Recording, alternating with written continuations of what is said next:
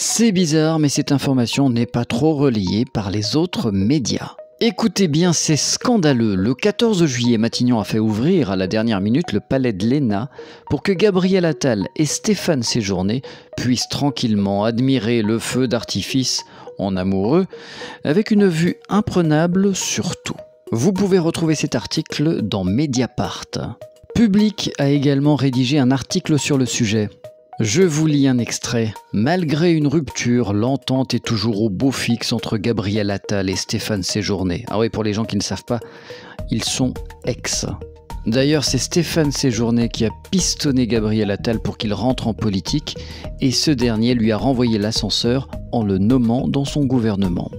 Gabriel Attal a en effet choisi Stéphane Séjourné comme ministre des Affaires étrangères. En réalité, on ne sait pas trop s'ils ont vraiment rompu ou s'ils entretiennent encore des relations de travail exiguës euh, ou plus si affinité.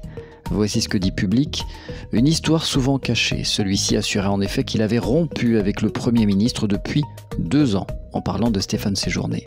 Une annonce faite dans le but d'éviter tout soupçon de collusion ou de connivence entre les deux hommes. Ni Stéphane Séjourné, ni Gabriel Attal n'avaient réellement évoqué cette relation jusqu'à récemment. Bah moi j'étais au courant quand même.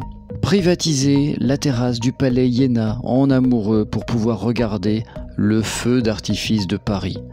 C'est ce qu'on peut faire lorsqu'on fait partie du gouvernement d'Emmanuel Macron. Et toi, tu n'es qu'un gueux, alors tais-toi.